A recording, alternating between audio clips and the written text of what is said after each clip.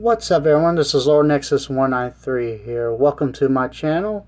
Uh, basically what I do on this channel is to promote positivity by encouraging those as well motiv uh, motivate and also support those.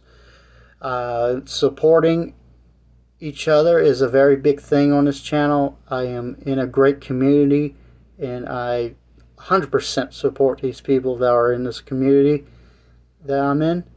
And besides that, I am also planning on doing video game content, movie reviews, as well action figure re reviews, live streams, and so much more. So stay tuned for that.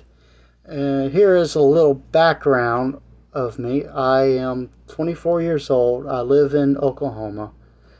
I am basically uh, semi-disabled. I'm I have a learning disability, so that's why my speech is not 100%.